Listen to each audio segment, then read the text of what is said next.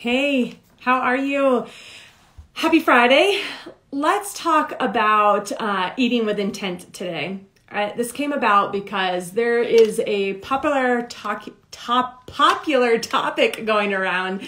Um, it's intentional eating, and I have seen this everywhere on social media, in the media, and to me, I have been wondering what does that really mean? And, you know, to me, it really kind of means how do you eat? And especially in regards to how do you eat and what does that mean to your physical health and to your emotional health? So, how do you eat? Um, do you eat in front of the TV or while scrolling on your phone or maybe in, on, at your desk in front of the computer or while reading?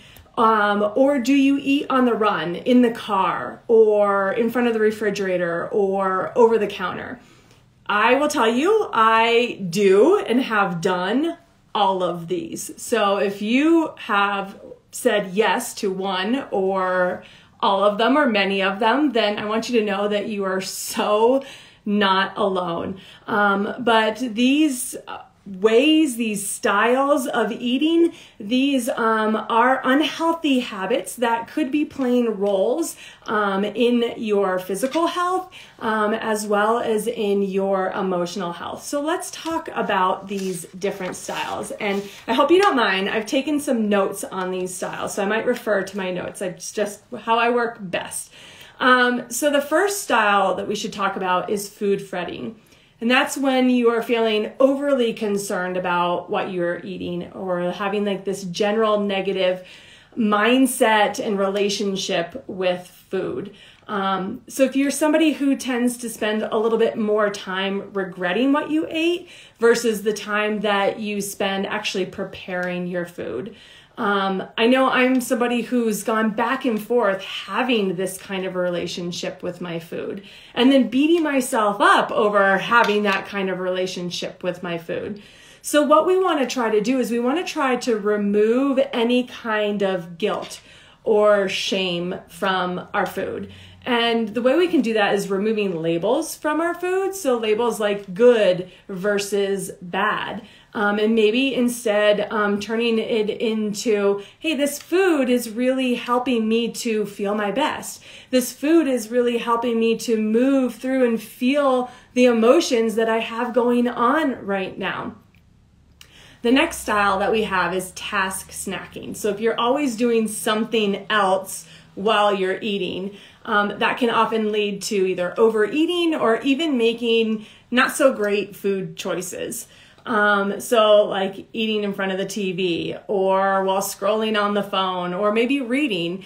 Um, I know I do all of these. Um, and even doing things like I do this one all the time where I will sit down for breakfast and I pull out my personal development book and I'm feeling like this is great. I'm really I'm reading a really good book. This is so good for me.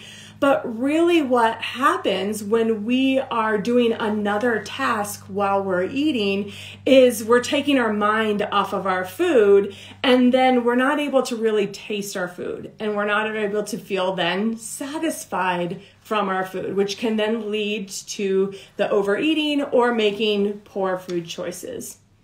The next one is solo dining, and this is one that's going on a lot right now with our world. Um, but what can happen with solo dining is food can then often be filled to um, used to fill a social void. And I want to say this there is nothing wrong with food being social and food being enjoyed. There's times when we use food to truly fuel ourselves for that um, purpose of fuel, and that's awesome. And there's times when we use food truly just purely for enjoyment in this social aspect, and that's just as awesome. Um, but what we don't want to get into the habit of is using food to fill a social void that we have. And most especially when we're alone eating, because that's when it's going to really start to lead to overeating and those poor food choices. So instead, what we can do is sit down with our food, make our environment nice. So sit down at the table, set a really nice table, make it pretty, make it how you like it, plate your food, and really spend the time to enjoy the food that you're eating. The next style is an unappetizing atmosphere. So that would be like eating on the run in the car or eating in front of the refrigerator or eating over the counter or over the refri- or the um, sink, for example. I used to do this one all the time driving to work. I would grab like a bagel sandwich and I'd be shoving it in my mouth, getting on the highway like, oh my gosh, trying not to crash. And what happens when you're doing that is you are concentrating more on something else, the task at hand, than you or the atmosphere going on around you than you are on your food. You're worried more about the crash, which you should be, than you are worried about the food.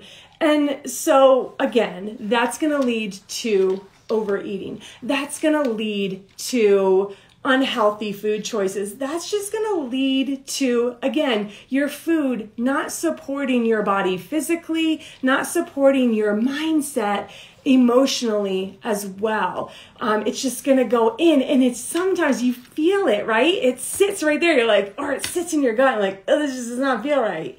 So when we are doing that and we're in that unappetizing atmosphere, frequently it's become a habit. We want to try instead to become more present with our food, set those times to be more present with our food. The last one is sensory disregard. If you find that the habit is that every meal is more hectic. Every meal is hectic and there's a lot of overwhelm and chaos going on. That's again where our brains are just disconnecting from the food, from our meals, and um, we're not able to be present with our food. So, just like all the others that we've been talking about.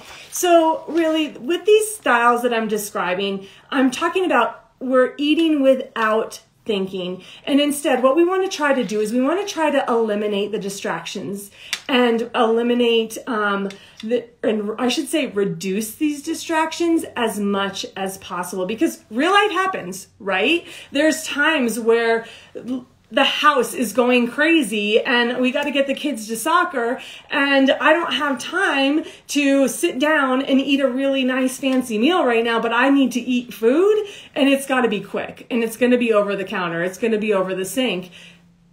Okay, it's not about beating ourselves up over that, but it's about reducing that as much as possible to make it more of a habit to sit down and be more um, intentional with the time we're spending with our food. And the way we can do that too is just being more intentional and being mindful when we're preparing our food, just spending the time and enjoying the time we're preparing our food. And enjoying the time plating our food, make it nice and pretty, and enjoying the time then when we sit down and eat our food so we can be more present while we are really consuming it so we can love our food. Um, I hope that was super helpful for you. I'm actually putting together something really, really exciting. I cannot wait for it. Starting on February 14th, over in my wellness community on Facebook, we're going to be doing a Love Your Gut challenge. It's going to be a seven day completely free challenge. We are going to be learning all about healing our gut to heal our physical health and our emotional health in a way that works with everyday real life. So, um, if you are interested in learning more about that, all you have to do is put a comment here on this video, send me a private message, um, and I will send you all of the information. When I upload this video, I will also put a link to that wellness community so you can come on over there and join that group. Starts on February 14th. I cannot wait to share it all with you. Alrighty, any questions about what we talked about today? You know, this is the kind of topic I think we can just go back and forth on and we can share knowledge with each other. We can help each other out. And so I would love to hear from you in the comments your thoughts, how you are uh, feeling about this, how you implement eating more intentionally into your life. So share that below. All right, everybody, have a really happy Friday. Talk to y'all soon. Bye bye.